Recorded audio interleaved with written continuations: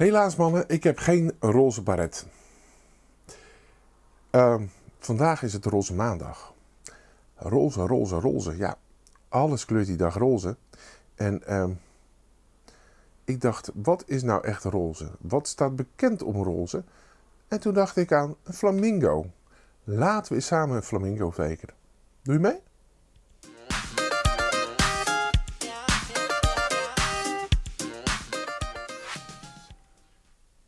Ja, vandaag is de roze maandag. Maar wat gaan we nou tekenen met een roze maandag? Nou, de kermis is er in ieder geval weer. Uh, daar kan je naartoe, Tilburg. Het is hier vlakbij. Um, uh, ja, dat is echt de grootste uh, kermis volgens mij van de Benelux. Um, um, ik ben er in het verleden wel eens een, keer, een paar keer geweest. op de Tilburgse kermis. maar ja, roze maandag.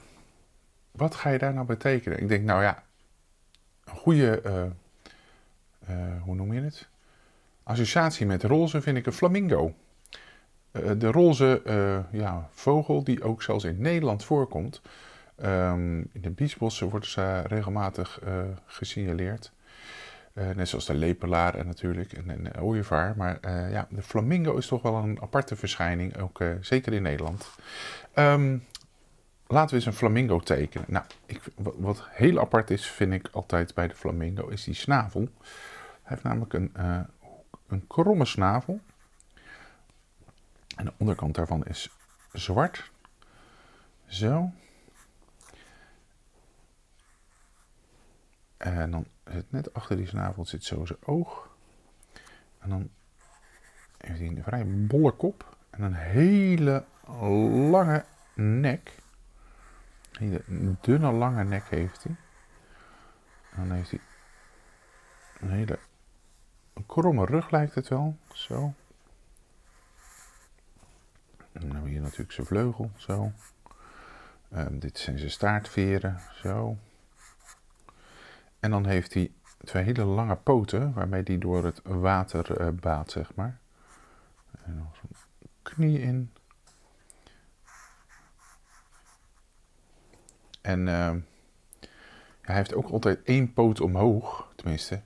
Ze kunnen heel lang op één poot staan. En uh, ja, die andere, de ene poot verdwijnt dan zeg maar bijna uh, hierachter. Um, hoe kunnen we dat het best uitbeelden? Ik denk een beetje zo. Zo, en dan hebben we die, uh, die knie van net. Zo, of dat. Zo, en dan staat hij zeg maar dit is eigenlijk de flamingo. Ja, en dan kan je hem natuurlijk zelf nog... Ik heb geen kleurtjes natuurlijk, dus je kunt hem uh, zelf nog een roze kleuren. En dan uh, hebben we flamingo. Um, ik zou zeggen, ga zelf aan de slag met de flamingo. Hou rekening met die lange nek. Hij heeft echt een, echt een lange nek. Um, ja, hij heeft ook lange poten. Dus, en als hij dan in het water die krabbetjes wil zeven. Daardoor is hij trouwens roze, hè, door de kleurstof die in de die de krabbetjes die die vis uit het water afgeven. Um, ja, waar je hem voornamelijk veel ziet is op zoutvlaktes, waar, uh, waar water is. Uh, bij zoutwinningplaatsen. En uh, ja, daar leeft ook dat krabbetje. Um, dus ja, inderdaad is het vrij uniek als we hem in Nederland spotten.